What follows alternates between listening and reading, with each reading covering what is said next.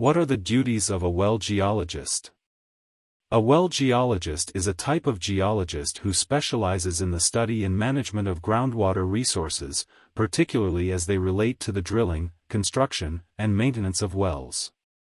Some of the duties of a well geologist may include Site selection and evaluation. A well geologist may be involved in selecting the best location for a new well, taking into account factors such as geological conditions, hydrological characteristics, and environmental regulations.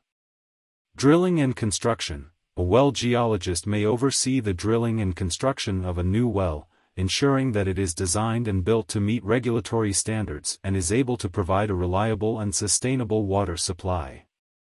Testing and monitoring. A well geologist may conduct tests to evaluate the productivity and water quality of a well, and may also be responsible for ongoing monitoring of well performance over time. Aquifer characterization. A well geologist may use a variety of geologic and hydrologic techniques to characterize the properties of the aquifer being tapped by a well, such as permeability, porosity, and water quality.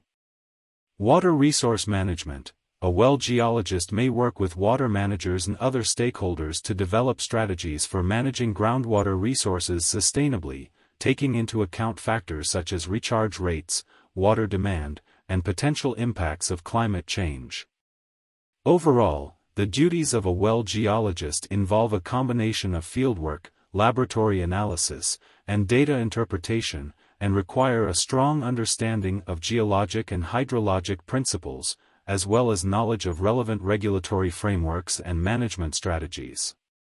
Please don't forget to subscribe to my channel and turn on notifications.